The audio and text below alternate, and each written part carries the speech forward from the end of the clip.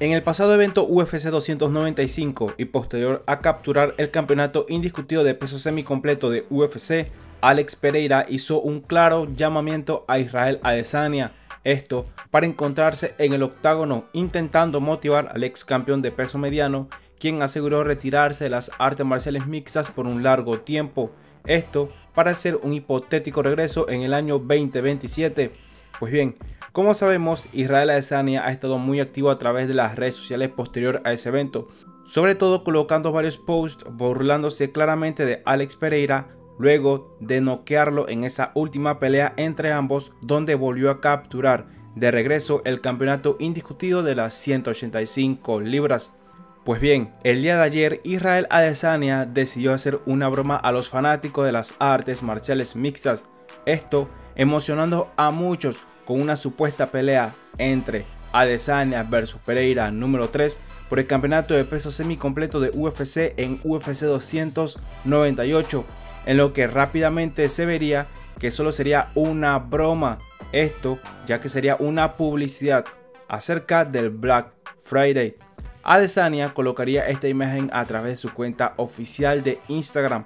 Evidentemente esto encendió las redes sociales con fanáticos con sentimientos encontrados, algunos riéndose evidentemente de lo sucedido y otros no muy satisfechos con la broma por parte del ex campeón de peso mediano de UFC, Israel Adesanya, colocaba una imagen en donde se veía la mitad de un supuesto póster de UFC, esto por el campeonato de peso semicompleto Adesanya vs Pereira 3 y como pelea coestelar estaba el combate entre Alexander Volkanovski en contra de Ilya Tupuria. Esta última pelea sabemos que es originalmente la pelea estelar de dicho evento y con la fecha del próximo 17 de febrero. Obviamente, como ya mencioné, los fanáticos se darían cuenta de esto rápidamente ya que en esta misma imagen, solo deslizando, se vería que era una publicidad del Black Friday. Posterior a esas imágenes, Adesanya siguió con fotos de él con Volkanovski, ambos riéndose juntos. Obviamente los dos querían llamar la atención de la gente, esto con el Black Friday con un 80% de descuento en una de sus marcas deportivas, cosa que al parecer funcionó de manera perfecta, ya que muchos fanáticos al parecer adquirieron la mercancía. A pesar de que muchos fanáticos ven lejano la posibilidad de una pelea entre Hansap Chimaev en contra de Alex Pereira, sobre todo al reciente mensaje dejado por parte de Chimaev a través de sus redes sociales pidiéndole al UFC un combate en su contra para destruirlo y evidentemente convertirse en nuevo campeón indiscutido de peso semicompleto de UFC, Alex Pereira siguió el juego del peleador checheno Recordemos rápidamente que no es la primera vez en la que Hansap Chimaev intenta provocar a Alex Pereira, ya que a vísperas de ese enfrentamiento, el último en contra de Israel Adesanya, Hansap Chimaev aseguró que una pelea en contra de Pereira sería la más fácil en su carrera de artes marciales mixtas, y esto fue lo que comentó en The MMA Hour en su momento. Esa sería la pelea más fácil para mí en UFC. Sí, en mi carrera, hermano. En el primer asalto, en el primer minuto, fácil, sin ningún golpe, absolutamente nada. Si Israel Adesanya entrena un poco de lucha, eso será todo. Lo vencerá fácilmente. El tipo no tiene lucha. Y sin duda este tipo no me agrada. Comentaba Hansap Chimaev. Si Ben se equivocó en cuanto a su predicción, ya que Israel Adesanya terminó noqueando a Alex Pereira y no utilizando la lucha, Aún los intercambios de palabras entre ambos siguen. Ya mencioné la reciente llamada por parte de Hansap Chimaev hacia UFC y ahora es Alex Pereira quien recurre a sus redes sociales esto para llamar quizás la atención de Hansap Chimaev, cosa que no tiene mucho sentido si realmente esta pelea parece tan lejana como los fanáticos creen que puede estar. Específicamente, Alex Pereira colocaba un clip en una película en donde uno de los personajes elegía a un rival pequeño para enfrentarlo en una pelea. Acompañado de este video en el mensaje Alex Pereira escribía cuando Hansap Chimaev elige a sus oponentes. Esta sin duda ha sido una crítica que ha recibido por mucho tiempo Hansap Chimaev, Se le critica el hecho, primero, de intentar competir y llegar al campeonato en las 170 libras, posterior a finalmente tomar la decisión de subir a las 185 libras, terminó peleando contra el ex campeón de peso welter Kamaru Usman, a pesar de conseguir una victoria cómoda sobre Usman y derribando y dominando de una manera increíble en ese primer asalto al ex campeón, muchos critican el hecho de que Hansap Chimaev está demasiado bien rankeado en el peso mediano sin haber enfrentado a un peso de las 185 libras top dentro de la UFC. Y evidentemente, quizás este mensaje por parte de Alex Pereira sea simplemente una burla o quizás un intento de provocación. Se ha estado hablando mucho acerca de la categoría de las 155 libras de la UFC.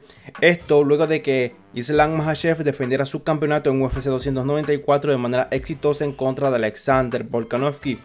Todo parece indicar que la pelea entre Oliveira en contra de Makhachev número 2 será reprogramada por parte de UFC para que esta pelea sea una realidad en un futuro cercano en un evento que evidentemente aún no conocemos.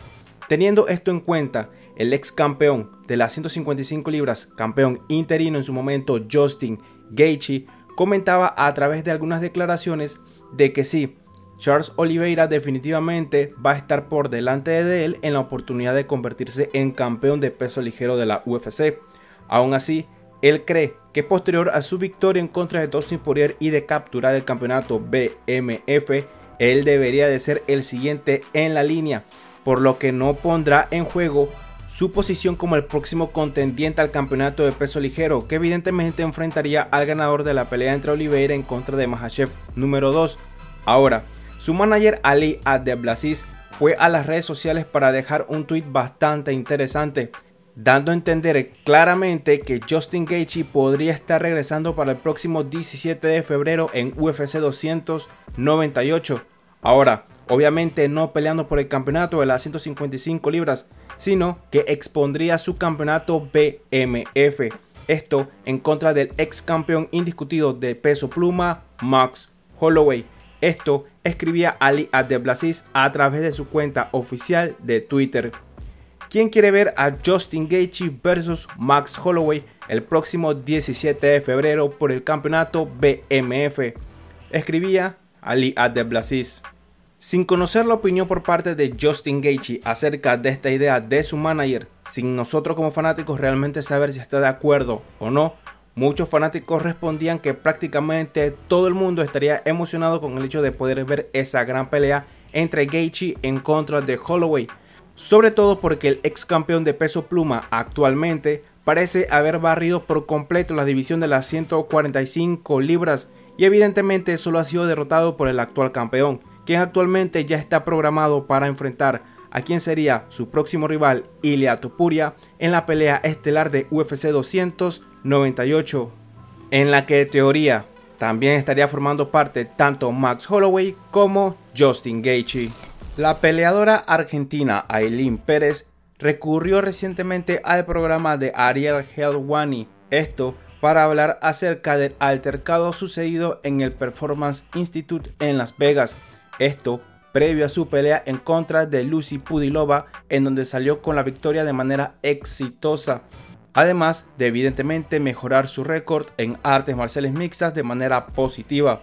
Pues bien, la peleadora con la que no quiso dar nombres previo a la pelea con la que tuvo el altercado es la panameña Jocelyn Edwards, señalada directamente por Aileen Pérez en este programa con Ariel Helwani problema que incluso pudo dejar a la peleadora argentina fuera de su pelea tan importante en contra de la brasileña. Luego de salir de todos los asuntos del combate y tras la victoria, entonces Aileen Pérez finalmente dio detalles completos acerca de todo lo sucedido, ya que había dejado entredicho algunas cosas previo al enfrentamiento. Esto comentó Aileen Pérez al respecto. Subí a entrenar y al finalizar ella se acercó a amenazarme y a decirme que me asegure de ganar mi pelea, porque soy bocona y hablo demasiado. La quise saludar y se negó. Siempre me mostré con respeto. Me dijo que yo no era nada, que no le he ganado a nadie y que me iban a ganar. Le dije que cuál era su problema y me dijo que hablaba demasiado. Entonces le dije, si no tienes un problema, ok, ¿quieres pelear conmigo? Hagámoslo, digámosle a UFC que haga la pelea. Mi entrenador me dijo, no hagas caso, está nerviosa. Entonces Jocelyn Edwards dice, yo nerviosa. En eso subió corriendo a la jaula y me lanzó un golpe. Me cubrí pensando en mi pelea. Incluso mi hijo estaba presente. El golpe me entró por completo. El ojo se me cerró. No pude ver. Mi reacción fue abrazarla. Yo sentía sangre caer, dolor y le dije a mi profesor, quítamela, quítamela. Yo estaba cortando peso, con la presión incluso baja. Mi profesor la agarró del cuello para quitármela. Posterior a su victoria en contra de Pudilova, Aileen Pérez también habló acerca de este tema previo a su entrevista con Ariel Helwani y en ese momento comentó lo siguiente acerca del contexto del conflicto. Agradezco a mi entrenador por no dejarme sola ni un solo segundo, porque si no fuera por mi entrenador no me lo hubiera podido sacar de encima y me hubiese lastimado toda la cara y no solamente un ojo. La pelea quizás nunca hubiera sucedido y se hubiera dado de baja si no fuera por mi entrenador que me salvó en ese momento.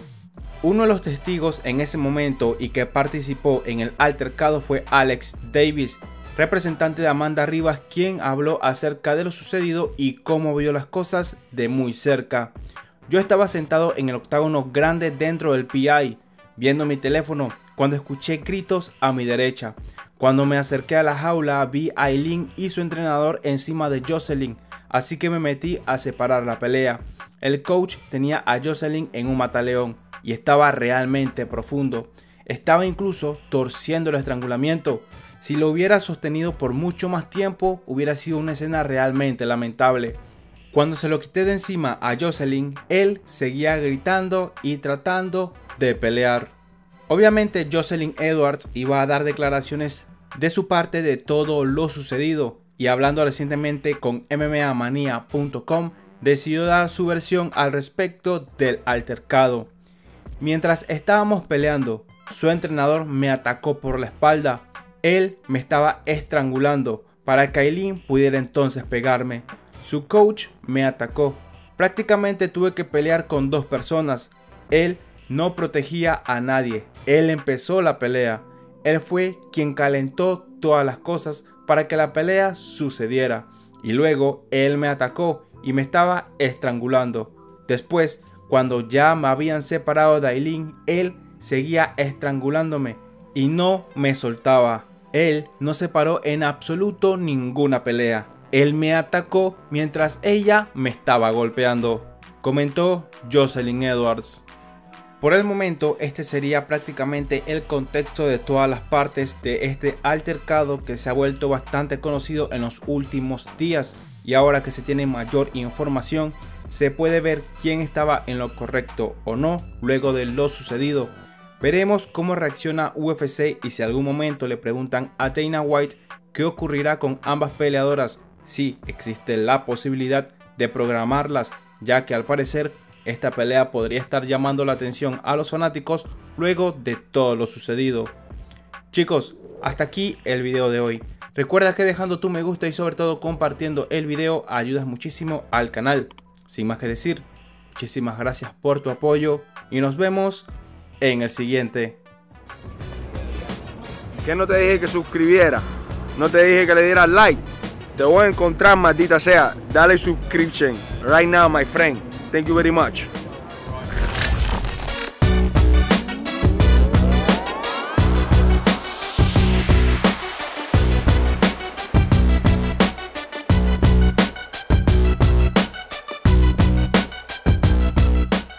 Soy su amo y todos deben temblar ante mí y obedecer mis brutales mandatos.